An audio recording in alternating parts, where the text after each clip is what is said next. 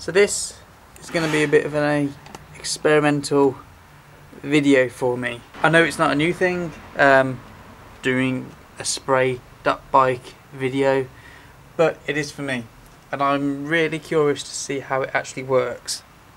Um, I've reached out to them uh, just to ask how much they recommend, how many cans they recommend per layer uh, on the bike to redo it, and they've come back and suggested one can per layer for a frame and fork. So that's one can of primer to do an entire frame and a fork, one can of colour to do the same, and one can of top coat or lacquer again, frame and fork. To me, that sounds not a lot, but I'm willing to give it a go. So here we go. Got one can of Frame Builders Metal Primer, 400ml. Two cans of colour, uh, one can of pink. What pink, pink is this? London Strawberry Hill. One can of London Bayswater. And then one final can of Spray.Bike, Frame Builders, Transparent Finish. I've also got all the original decals made for this bike um, from Gil at Retro Decals. So yeah, we're gonna, or I'm gonna experiment a little bit on this, do a bit of a blue and pink scheme rather than just the blue. Um, and we'll see how it goes. I'm I am dubious. I am dubious. Let's just say for the one one can per layer, but apparently it goes on thick, so you don't actually have to go over it much. We shall soon see. Now this frame is not in the best condition, so instead of spending hours and hours and hours sanding this frame back, I am just going to take it to a powder coating shop to get it sandblasted and get rid of all this dirt and grime and rust and it's it's it's solid but it's not nice. And before I do get into any spraying I will sort of premise this video by saying I'm not adverse to spraying bikes. I know I've powder coated stuff a lot of stuff in the past. Um, I just I am dubious about the long lasting quality that you can get from spray cans. I would rather a bike be professionally sprayed and heated so it's all baked on. And those four cans cost me 45 British pounds as of uh, you know what are we in September 2020 so yeah £45 for four cans. I hope they're good quality. Uh, obviously it's going to let me experiment a little bit more with the colours, with the designs that I do rather than powder coating but it's already more expensive than I can get a powder coat. Give everything a wipe down first. Make sure there's no contaminants on it.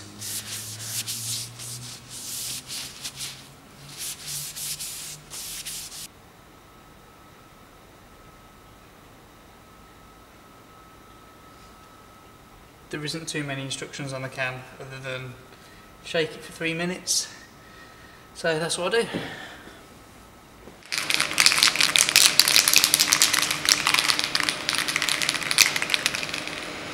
Okay, extraction's on. Going to be a bit echoey, but this is also meant to be sprayed from 20 centimeters away minimum. So we're going to give it a go, and uh, hopefully this can will go over two things.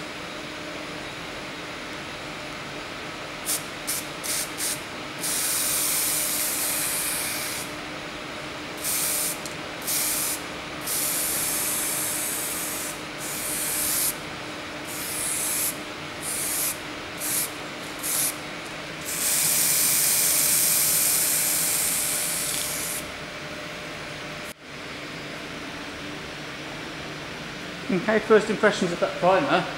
it actually went over the frame and the floor pretty easily actually. Only one layer of course, um, well technically. But yeah, it seems like it's got good coverage. Um, even going heavy on some areas there doesn't appear to be any runs which is what it promotes. So we'll see what it's like when it's dry. I'll give it a, a light sand down just to, in case it picks up any dust or anything in this atmosphere um, and then go on to the colour. It's very noisy but two days later the finish isn't actually too bad. I've given it a light rub down, uh, very light because it is only one coat. Ideally I would want two coats on this. Uh, but one coat does cover it and give you a bit of protection but if you do rub it down too much you will just go straight through. So uh, I guess now it's time for the colour.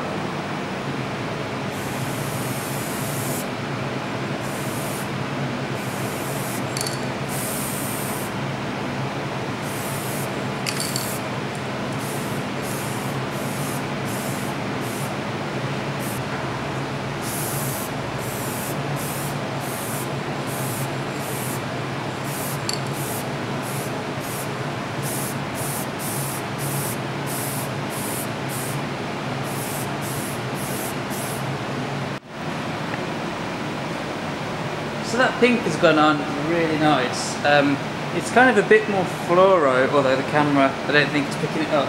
But it's a bit more fluoro than I expected. There is one downside to this pink paint. Um, it's very dry and very powdery, so it gets absolutely everywhere, absolutely everywhere. I think the white balance is completely off, but I don't know if you can see here where um, it's been able to fall, where the where the, the spray has been able to fall, but on every horizontal surface you've just got powder sitting on top. So the paint's gone down, anything left in the atmosphere has sort of dropped down as powder. So that is really that's really rough now from a very smooth primer that went on with no problems whatsoever to this pink top coat which has left powder everywhere so it's a lot of cleaning. And I haven't even sprayed these uh, chainstays this is all this is all dust.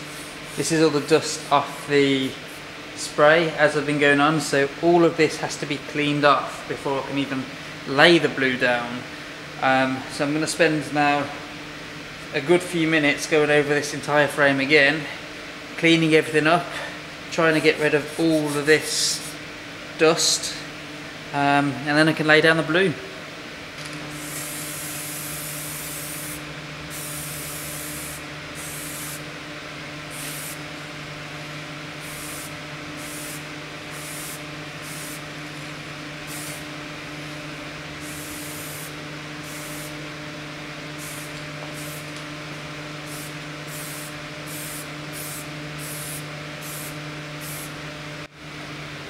And like I say it's uh, very very dusty. Even the blue like it's gone everywhere. So that's something you got to watch out for for this paint. But it's not looking too bad especially for my first attempt at um, fading. I know these two colours aren't exactly fade compatible shall we say. It should be progressing more from a pink into a blue. Um, but yeah, I think I like it. Um, I'm going to be doing some splatter on this as well before going on to the lacquer. So I need to let this dry. I'll let it dry overnight. Uh, tomorrow morning I'll try and put the decals on and then we will splatter it and then lacquer it.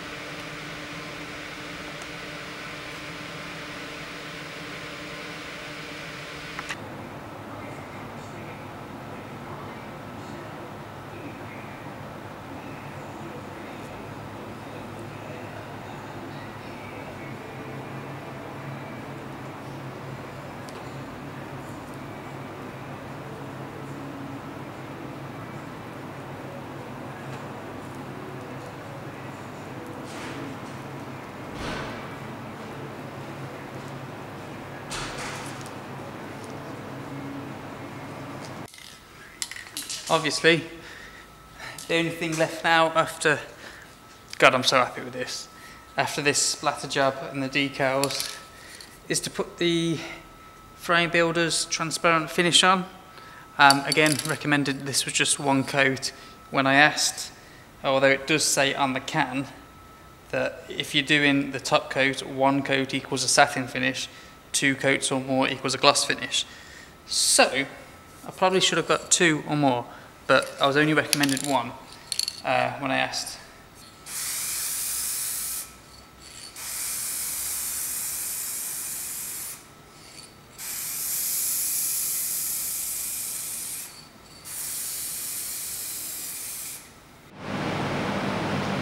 Well, I can give you an instant reaction to this Spray.Bike uh, clear coat. One, it's made the uh, paint underneath the, okay it's not Spray.Bike paint, it's just another generic spray paint. Uh, it's made that run, but it's also started affecting the decals as well, um, especially the Tang Tunge one at the bottom. It's really started making it shrivel. The Marin one up above is really shriveling. The Palisades one on the top tube, the head tube seems to be off okay. Marin on the down tube is lifting slightly.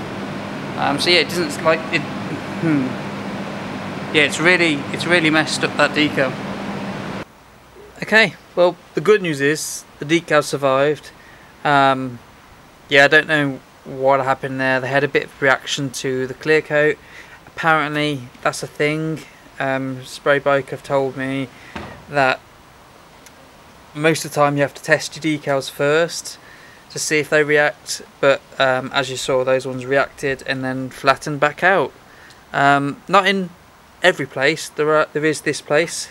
Just here on the eye the decal has lifted slightly so I might have to get some I don't know uh, varnish or something and just like pin that down.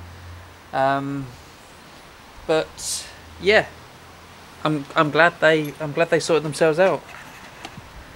So this whole video was meant to be a a sort of honest opinion of using this Spray.Bike. Um, obviously, I'm coming from a opinion of spray paint. It it looks cool. Um, you can do great things with it, and yes, you can get great results with it um, which are tough, but it does cost a fair bit to get that. So I was intrigued when Spray.Bike told me that I only needed one can per layer. Don't get me wrong, I absolutely love how this has turned out. Um, I love doing it. Um, the pink to the blue fade looks awesome. Um, and I love how it's broken up a little bit with the splatter that I've put on. So yeah, I mean, I love doing this. I love using the spray paint. I just think it needs a lot more than one layer per can. Of course, what I of course what I meant to say there was one can per layer. Um, I don't think it. I don't think I think you should use more than one can per layer. So just for a quick sort of review per layer, the primer um, I thought that went on really well. I love the no drip sort of claim and it did come through as no drip but I would honestly use two cans at least for the primer layer. One can did cover frame and forks um, to a good, a decent coverage but um, if you're going to do any sanding back of it just to double check that you've got all the areas flat you are just going to take it straight back to metal if your frame has been taken back to metal like this. Um, so yeah two cans at least I'd say for frame and fork. Now top coat um, again I was recommended just one can for the colour um, which I think might be doable. Uh, yeah I think if you were just doing a solid colour one can would be good. Um, it's going to be thin again, but it's also, this is the problem, a very, very dry layer. Um, it created that horrible dust that went absolutely everywhere. So you've got to really make sure you've got good uh, ventilation or use a mask, a proper mask, um, so it filters out all those particles. But it's going to go everywhere in your workshop, absolutely everywhere. Um, and sweeping up doesn't work. You've got to like mop it all up. So that also goes over your frame. It goes like if you're spraying up top. Is that in the shot? No, it's not in the top. But if you're spraying the top tube, it drops onto the down tube and everything below it, um, and embeds into any wet paint. So if you were to do this first and then go over the top again, you'd then have powder embedded in the down tube, which has happened to the seat stay bridge um, and some other parts like the cantilever hanger on the rear. It's it's very it's very rough on there now. It's very powdery. Where um, I went over other areas and then the powder from the overspray fell into the wet paint and is stuck there. So I would have to sand it all back and go over it again. Now the splatter, the splatter wasn't Spray.Bike. That was just some other brand I had knocking around. Um, but we're going to go on to the top coat. And obviously I always recommended one can. It's very, that's, that's just going to be a stretch. And as the can suggested when I got it, it's going to be a um, satin finish. So, if you're aiming for that gloss finish, you need at least two cans. I would also say you need at least two cans to give a proper bit of protection. Um, like on the down tube here I, I don't know if I just I stopped because I panicked about the decals because I, I had a little bit left in the can but this doesn't feel like it's protected here. It's got a little bit of a, a satin sheen to it but not as much it's not as smooth as the rest of it. So this is a rough finish here. Um, also the uh, what was it called? The clear coat. It went on a little thicker in places. Like um, obviously the the primer and the top coat felt quite controlled coming out. Um, the clear coat, it seemed to sometimes almost want to run. I mean, it, it did try and run in places, but it seemed to self level it itself out. Um, so there are no drips on the frame but it definitely needed more than one can. Definitely.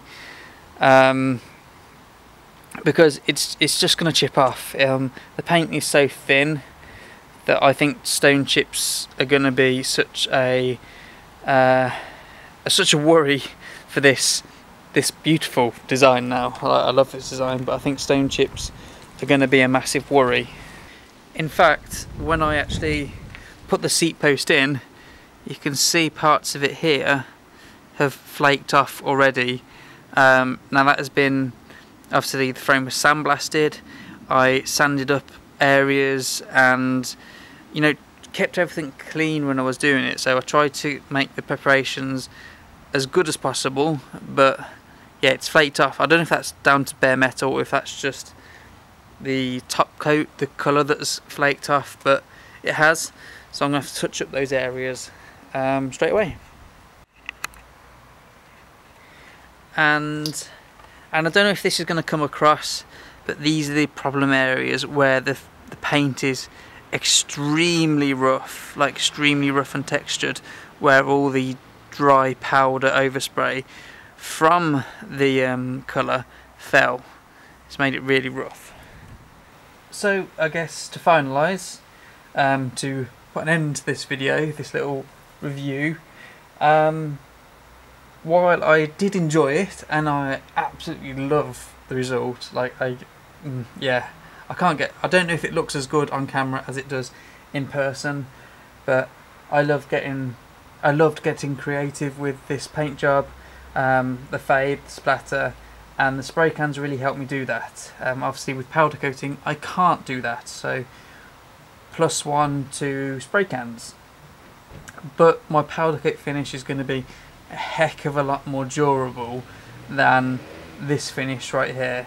Um, £40 worth of paint or £40 worth of powder coat the powder coat is going to win every time in terms of durability, but the 40 pounds of is the paint, the spray paint is going to win in creativity. To get a frame done like this, you know, by a professional with a spray gun and all that sort of jazz, which is going to be a lot more durable. It's going to be baked. You're going to be looking at sort of, you know, 200, 300, 400 pounds. So it is a good cheap alternative, but I think there are improvements to be made on the recommendations for a Spray.Bike. I would say at least two cans of primer if you are going to be doing this, especially from bare metal. Um, probably two cans for the top coat as well because um, I used two cans, one pink and one blue, and it gave a good coverage.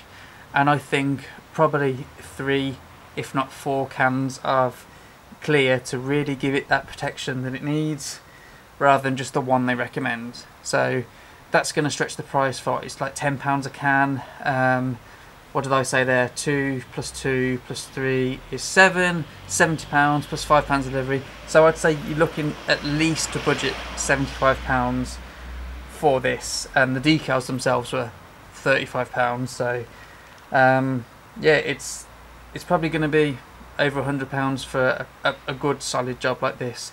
So next time I do this, and I will do it again, um, I'm going to buy a lot more paint yeah, so there it is. That's my little review. I I know there are a lot of people that use the Spray.Bike um, around there, and I don't know how much of a a feel you've got for using Spray.Bike from those videos, but I hope this has sort of expanded it a bit, um, and it gives you a bit of a clearer idea of what to look for in it. Um, I'm no expert. Obviously, this is my first time using it. Um, but yeah, from my point of view, these are my thoughts. So hope you've enjoyed the video. Um, hope it's helpful. Um, subscribe if you want to see more, especially the build of this video. This build of this video, the build of this bike. Um, and um, yeah, thumbs up, thumbs down, subscribe, share, blah blah, and I'll see you in the uh, next video. Thanks for watching.